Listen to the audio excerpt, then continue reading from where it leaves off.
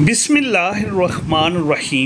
नबी पाक सल्लल्लाहु अलैहि वसल्लम रहमत ने फरमाया, मेरी उम्मत पर वो वक्त आने वाला है, जब दूसरी कौमें इस पर इस तरह टूट पड़ेंगी कि जैसे खाने वाले दस्तरखान पर टूट पड़ते हैं। किसी ने पूछा, या रसूल अल्लाह सल्लल्लाहु अलैहि वसल्लम क्या उस ज़माने में हमारी तादाद इतनी कम हो जाएगी कि हमें निगल लेने के लिए कुएँ मुतद होकर हम पर टूट पड़ेंगी।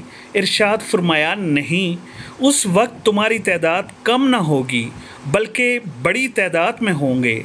अलबत् तुम सैलाब में बहने वाले तिंकों की तरह बेवज़न होंगे। तुम्हारे दुश्मनों के दिल से तुम्हारा रोब निकल जाएगा और तुम्हारे दिलों में पस्त हिमती गार कर लेगी। इस पर एक आदमी ने पूछा, या रसूल अल्लाह ये पस्त हिमती किस वजह से आ जाएगी? आप वसल्लम ने फरमाया, इस वजह से कि तुम दुनिया से मोहब्बत और मौत से नफ़रत करने लगोगे।